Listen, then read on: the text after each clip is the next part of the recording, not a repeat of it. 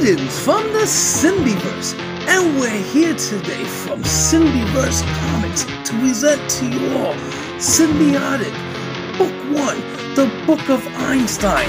This book right here will be available on our website and exclusively to our Instagram family.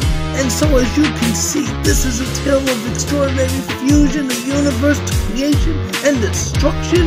Oh indeed. So join our main protagonist Einstein as he's on a mission, quest to stop the rest from destroying our universe. And as you can see, we have this available in stores. So come check us out if you can't find it in the stores at SymbiverseComics.com. And this episode of The Spider's Lair is brought to you by SymbiverseComics.com. Enjoy.